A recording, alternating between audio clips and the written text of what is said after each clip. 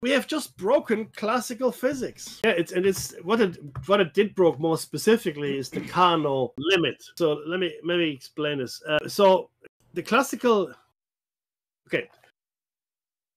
What has happened is there have been recent breakthroughs in quantum mechanics, quantum computing, which have led to experimental devices that break the classical Carnot limit by using non-thermal quantum states to achieve higher efficiency in converting heat to electricity. This is not achieved with a traditional quantum computer, but by using quantum properties in a specialized energy harvester device that overcomes the thermodynamic restrictions of conventional engines. So, so all the laws, and I'm very I'm using that word advisedly here. All the laws that, that have governed thus far conventional or traditional physics in the creation of conventional engines have now been broken. And this research has significant implications for new energy harvesting technologies. This is really it's it's it's, it's insane.